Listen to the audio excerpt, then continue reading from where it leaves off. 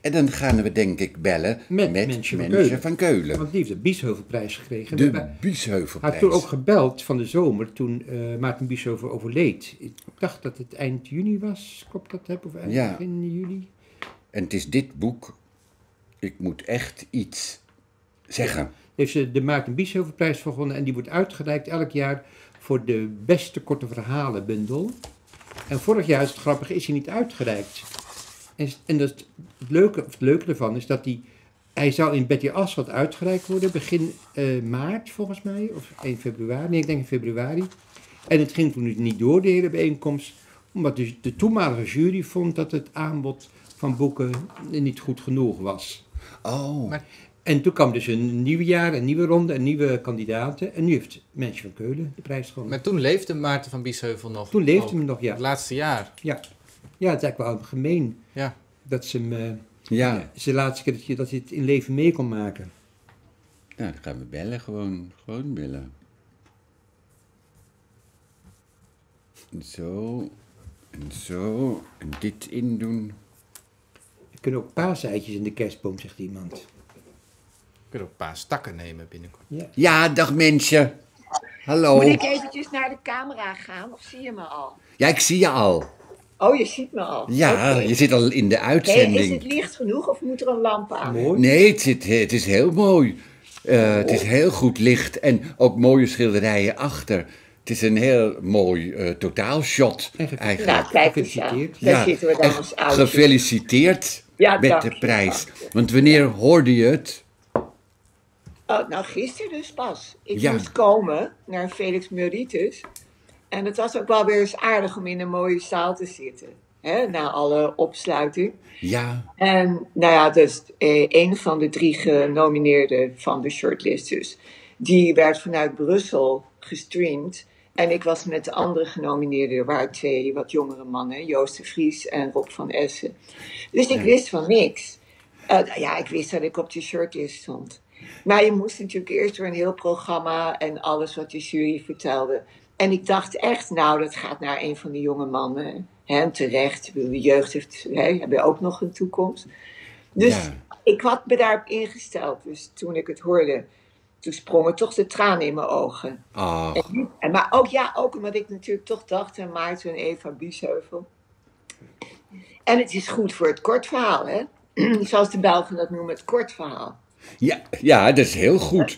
En, eh, en je hebt nu heel veel publiciteit. Dus, eh, want wanneer is het boek uitgekomen? Vorig jaar. Ja, dat is al bijna een jaar geleden. Maar ja, het gaat natuurlijk over de boeken die in het vorig jaar verschenen.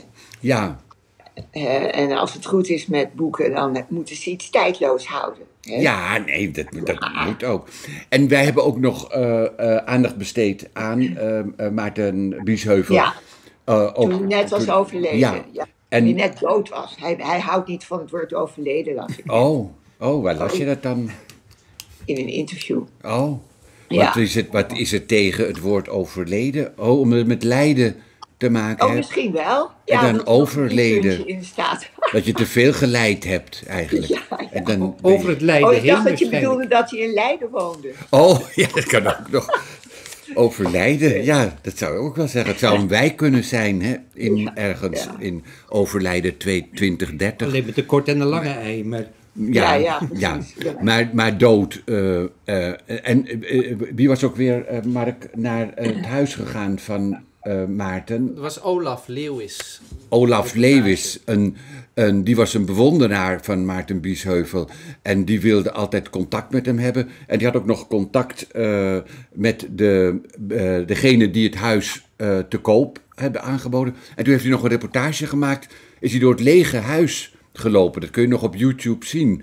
En Ja, ja, maar, dat, ja, maar mooi. ik geloof dat ook Benali dat gedaan heeft. Dat hebben wel meer mensen nog gedaan hoor. Want je ziet nog teksten dan op de wand Ja, staan klopt. ook. klopt, Van klopt. hem.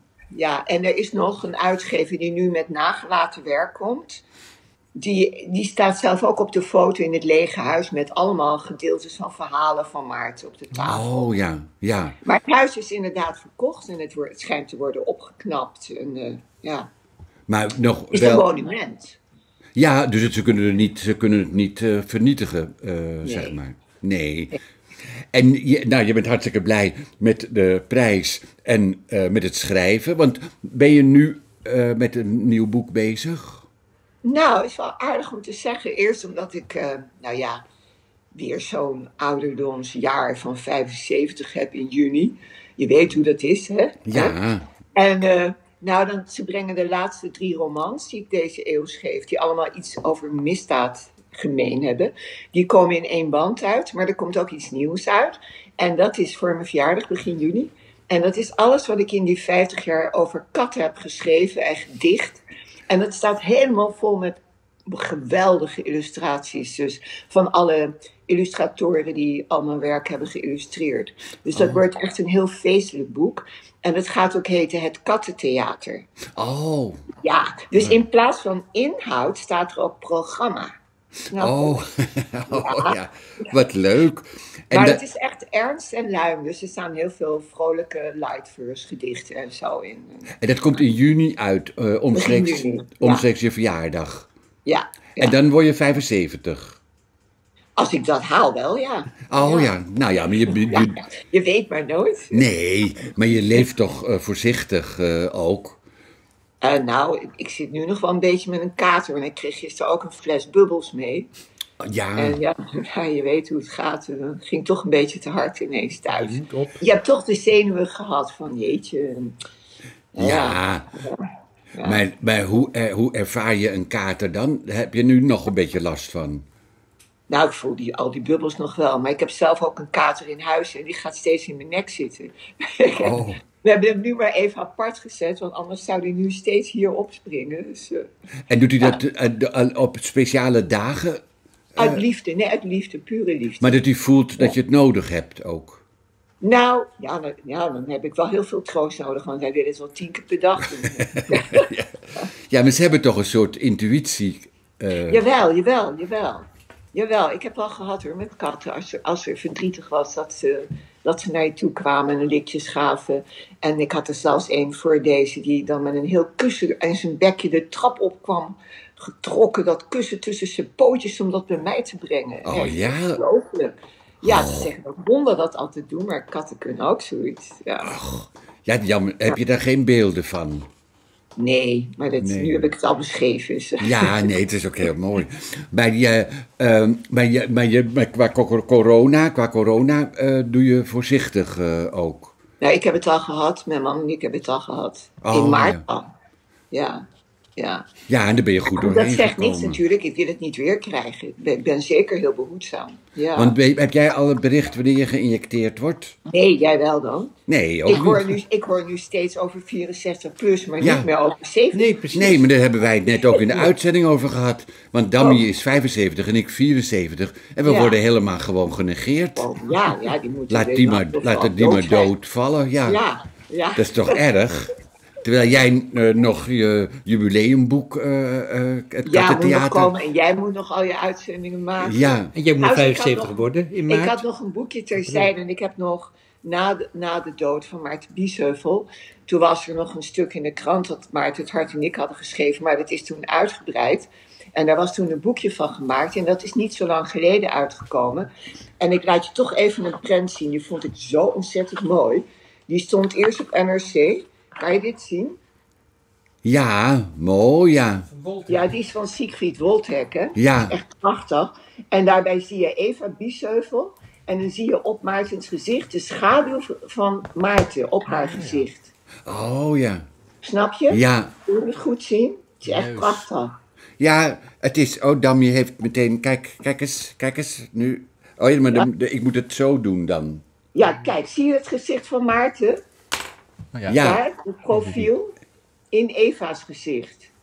Hier, Oh ja. Hier, dit is de neus. Ja, Ja, oh ja, precies. ja.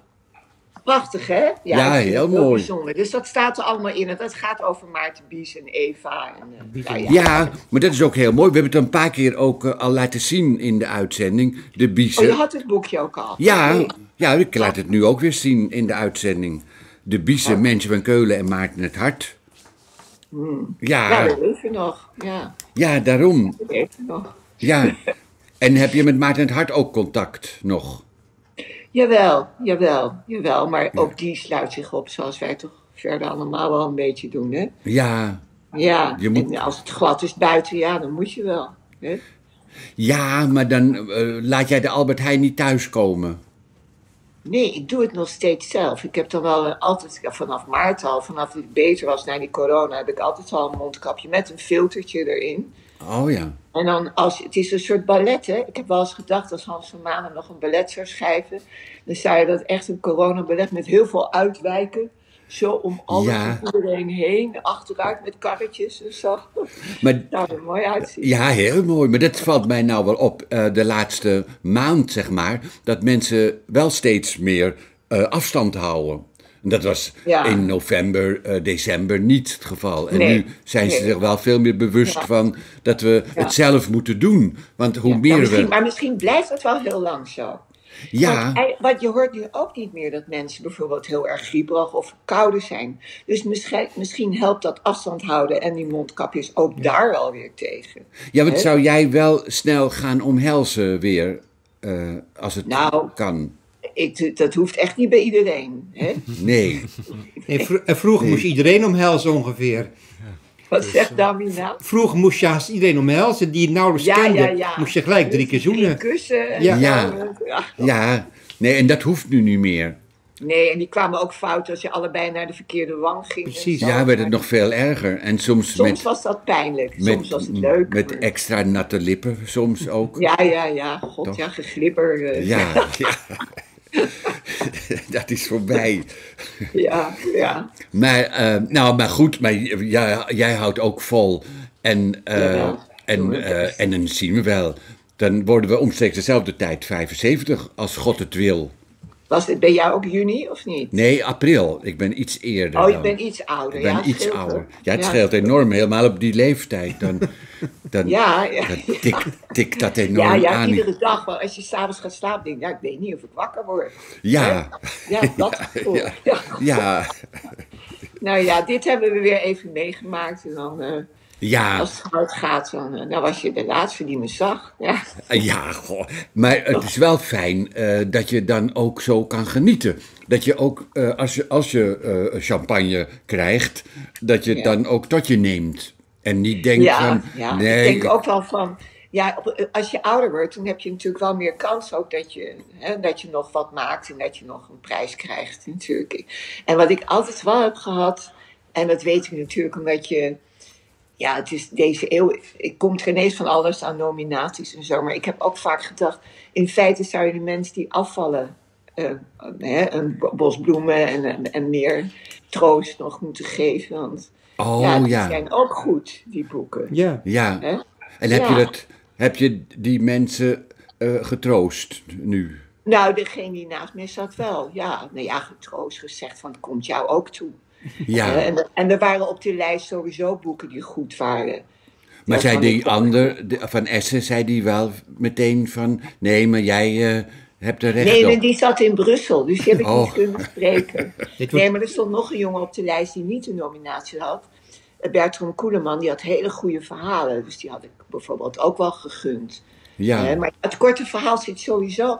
Ja, dat is in Nederland toch een beetje ondergeschoffeld geraakt. En dat is heel vreemd. en zou jij zelf eh, af en toe bij ons kunnen vertellen welke boeken mensen moeten kopen? Eh, Of ik dat kan vertellen? Ja, met korte Dan moet ik verhalen. alles gaan bijhouden, dan kan ik niet meer schrijven. Als Nee, maar wat je toevallig net gelezen hebt, zeg maar. Of lees je, lees je zelf niet zoveel? Ja, ik zou, ik zou graag veel meer willen lezen. Maar. Omdat ik toch, ja, ik ben ook weer aan iets bezig en dan, dan lees ik te weinig misschien. En het leven gaat door in je sociale contacten en ik moet ook. Ja. koken en ja, alles. En dan denk ik, jeetje, maar mijn tijd is misschien nog heel kort en ik wil toch iets nog afkrijgen. Een nieuw boek. Ja. Weet je, dan lees je eigenlijk te weinig. Maar, Dus ik- maar moet je zo denken dat je tijd kort is? Je moet wel heel efficiënt werken, maar eh, ik Ja, schat maar, ja, jou maar honderd. hoor, de muze is heel grillig. De ene dag dan krijg je er twee zinnen uit, de volgende dag hou je er drie weg. Ja. Dan ineens schrijf je een bladzij. Het is heel onvoorspelbaar. Zeker met fictie. Kijk, Ja. als je feiten hebt met non-fictie, dan kan je nog wel opschieten. Dat heb ik ook wel ervaren, maar bij fictie is het toch een beetje duister. Of je Ja. Of je goed verder kan komen hè, met, met zo'n verhaal. Ja, en je, moet, je hebt inderdaad je sociale contacten en je eten. Eh, Want eh, ook een hele interessante vraag. Wat ga je straks eten? Nou, iets vegetarisch. Oh ja. Want hoe lang Ja. ben je vegetariër dan? Nou, ik begon al, ik, toen ik de bio-industrie opkwam, dat was echt toen ik ongeveer tegen de 20 was. Dus dat is al meer dan 50 jaar geleden. Hè? Ja. Toen dacht ik al, dit deugt niet. Hier gaat iets helemaal mis. En ik zag die veewagens langskomen. Ik woonde toen op een route die naar Oost, het abattoir in Amsterdam-Oost ging. En dan kromp ik ineen als ik die dieren hoorde. En toen ben ik eigenlijk al gestopt met het eten. Eerst van zoogdieren. En toen ook met kip. En met al die bio-industrie kippen die geen leven hebben. Die, het is vreselijk allemaal. Als er één schandvlek is in de wereld. Ja, nu word ik ineens heel ernstig hoor. Ja, nee, heel goed. ik zoals mensen met dieren omgaan. En dan denk ik ook in dat verlengde, nou, het verbaast me niet dat er ook eh, in Amerika bijvoorbeeld, als, als je moordenaars en verkrachters hebt, zijn dat vaak ook dierenbeulen.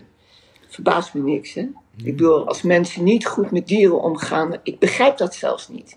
Dat je dieren kunt martelen en zo. Ja, en daar valt voor mij toch ook een heel groot deel van die bio-industrie onder. En niet alleen maar wat ik vreselijk vind, die wet markets in Wuhan of maar op. Of mensen die zomaar een hond of een kat de straat op schoppen omdat ze er geen zin meer in hebben of zo. Hè? We moeten wat, toch wat beter ermee Ja, omgaan. en vis? Als het niet anders kan, dan eet ik het nog wel eens. Maar eigenlijk met lange tanden. Ja. Ja. Ik ben niet veganistisch. Nee. Dat vind ik best lastig. Ik zou het wel willen hoor. Maar een hele mooie tong, eh, zeetong, eet je ook met lange tanden. Mijn eigen tong. nou, er zijn wel, zoals hè, al die trailers die nu die hele zeeën leeg vissen, is ook geen rolletje. Nee, dat is waar. En het- ik vind nog steeds ook het woord sport bij sportvissen ook een beetje vreemd. Zo'n dier zien spartelen op de kant. Ik zie, kijk daar niet met plezier naar. Nee. Nee. En desondanks is dat nog minder erg dan al die netten waar dolfijnen en alles maar. wow. Ik, Ja. als, ik daar, als ik soms als ik dat op me door laat dringen, dan word ik zo wanhopig, machteloos. Ja, dus, ja. Kun je je- dat voorstellen? Ja, ik kan me nog voorstellen, maar ik wilde je niet in die richting duwen. Dat je ineens wanhopig Nee, nou, ik was En- ook niet van plan. Maar trouwens, Maarten Even Buusheuvel waren net als ik eh eh, lijstduur bij de Partij voor de Dieren. Hè? Ja, Ja, een Wel. meningsschrijver trouwens. Hè? Dus nee, ik wil niet zeggen dat die mensen meer voeden, maar die denken er misschien wel over na. Maar Ja. de, ko- de komende Mensen denken verkiezingen vaak ook. niet na. De komende verkiezingen ben je ook lijstduwer, of niet? Ja, natuurlijk. Ja. Natuurlijk, vanaf het begin al. Oh, Ja. En dan, nou, dan de, het antwoord op de vraag. Want daar heb je over na kunnen denken nu. Wat je gaat eten. Geen dieren. Nee, maar heb je dan iets Nee, ik heb leuk? wel wat parmezaanse kaas erop. Ja, maar iets, eh, maar voor de mensen die ook denken van ja, ik word ook vegetariër. eh, Nou, dat kan zoveel met risotto. Hè? Risotto maak je dan met, met de parmezaan. Dat maak ik dan. oh ja, Eh, dat kan zoveel, maar je kan zelfs een stamppot met gebakken uien. En dan, als je niet veganistisch bent, dan neem je wat geitenkaas of halloumi. is ook ideaal. Dat kan je bakken, dat kan je kruiden. Je kunt eh, de vegetarische kipstukjes, die kan je marineren en dan merk je geen verschil. Als je Oh. bijvoorbeeld kip zou nemen voor saté. Mens zegt zelfs dat ik een aardige kokkin ben. Dus ik, eh, hm. oh. ik kan alle kanten uit. Ik vind het niet zo moeilijk eh, om vegetarisch te koken. Nou, misschien een leuk volgende keer eh mensen in de keuken. Ja, mensen in de keuken. op de achtergrond en dat alles misgaat, je weer in Ja, op de kink. en Ja. inmiddels- boekentips. Ja, boekentips. Nou, er waren er nog reacties in de chat, want mensen die volgen het ook allemaal. Over de hele wereld hè, worden we uitgezonden. oh, Ook in India hebben we heel veel kijkers. En Er zijn veel mensen die, Zuid-Afrika. die steunen haar in het, eh, in het ve- vegetarisme. Ja, En eh, wa- één zegt iemand, Ramon Hagens, was ik maar een kip, dan was ik sneller uit mijn lijden verlost. Ja, dat is ook weer. Nou, ik zou zeggen, als ik 's morgens, als ik nog wakker lig of ik ga heel laat naar bed, dan denk ik, oh god, dan gaan de veewagens weer ontrokken aan het oog s'nachts. En s'avonds denk ik dan wel eens, oh, ze zijn dood. Dat is beter dan eh, Ja. in zo'n hok zitten op de tralies en in zo'n wagen hè, voor het eh, getrokken Ja. wordt. Ja, zo, dus dat, wat dat betreft snap ik dat wel. Uit je lijden verlost zijn. Ja, nou, ja. eh, Nou, dat was Dat- vrolijk einde. Een vrolijk einde. Nou, maar we gaan ons verheugen op het eh, theater, het theater van de... Het kattentheater. Kattentheater. Op het kattentheater. Ik Nou, lees nog wel eens een keer een versje voor je voor. ja, hartstikke goed. Nou, Ja, mensen, eh, nogmaals gefeliciteerd. En een hele fijne Dank tijd. Hou omhoog en heel veel liefs. Dag. Dag, dag, dag.